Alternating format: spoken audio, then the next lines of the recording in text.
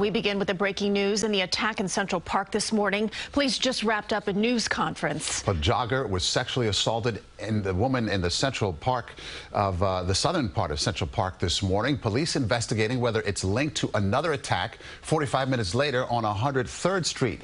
CBS 2's Alice Gainer live at the park right now with new information. Alice.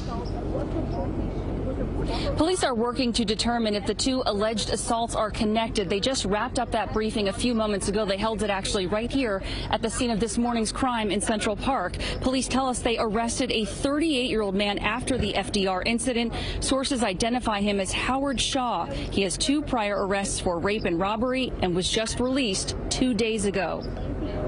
At approximately 7:20 a.m. this morning, a woman in her 20s reported being sexually assaulted in Central Park as she walked on a footpath near Swan Lake behind me. The victim of the assault was taken to a local hospital for treatment. Police spent the day along this path close to the pond and Central Park South, not far from busy Center Drive and the Wollman Rink. It was taped off to the public as they searched for evidence. It's where a woman in her 20s was jogging this morning around 720.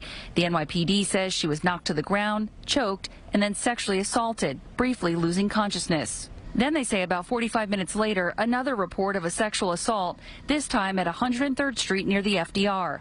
A suspect was taken into custody a short time after that alleged attack.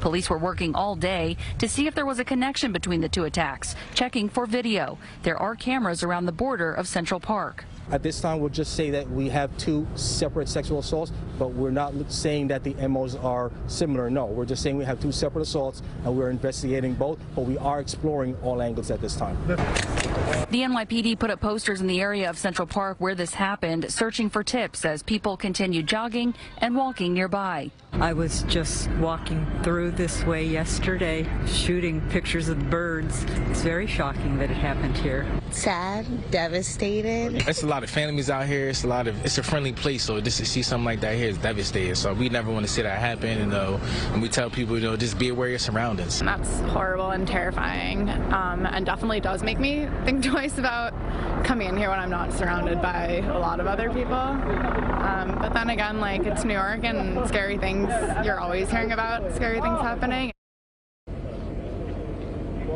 Police say the Central Park victim this morning was able to leave the immediate area herself. She flagged down some people who called 911. She was taken to a local hospital. Police say the investigation is ongoing. They will have a Crime Stoppers van parked out here in this area in Central Park tomorrow morning. So if you have any information on this case, you're invited to come by and talk to them. Live in Central Park, Alice Gainer, CBS 2 News. Okay, Alice, thank you. And